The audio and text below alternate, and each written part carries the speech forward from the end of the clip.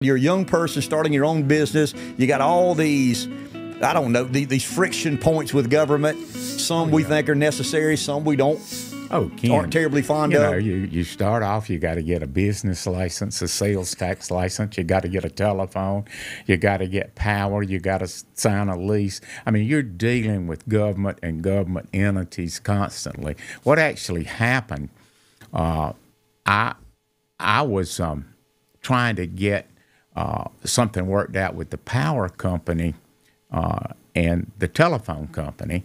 And I was told that I had to go to my state representative if I wanted to uh, get them to, to look at what I was proposing because I was opening stores and putting in phone lines. And money was very precious. I was operating on a shoestring, and I had to, every time I opened something else, I had to come up with even a greater deposit, and, and I had a perfect record of, of paying my my power bills and one thing and another. So anyway, I didn't get any satisfaction uh, when I pursued this with uh, my state representative, and then I saw in the paper where he was seeking another office, and I said, "Hmm, I'll just run for this office." And no, I, no, no, political experience at all. None whatsoever.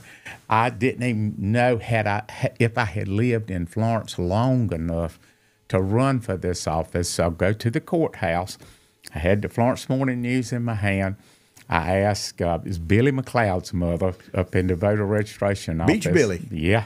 I said, Miss McLeod, I'm Robin Tallon. I said, can I can I run for this office?